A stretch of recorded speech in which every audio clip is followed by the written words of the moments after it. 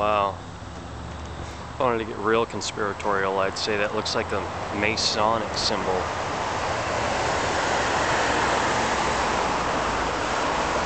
But, yeah, it's just your typical California weather. Nothing out of the ordinary here.